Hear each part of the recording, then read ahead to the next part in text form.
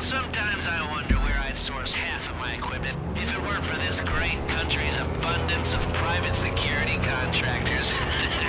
Tonight's shopping list, courtesy of Merryweather Security, includes stealth equipment, night vision goggles, and noiseless covert repelling gear. Oh, and that last item should come in handy if we can't use the casino elevator. So head over to there.